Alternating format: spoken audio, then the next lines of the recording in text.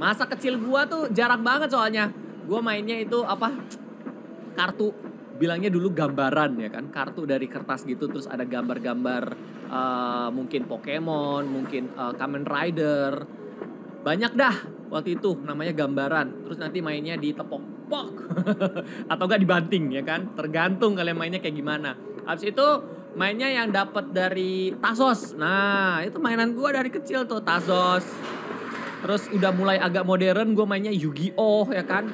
Ke ke apa namanya? ke sekolah bawa-bawa kartu Yu-Gi-Oh, deck Yu-Gi-Oh terus main. Wah.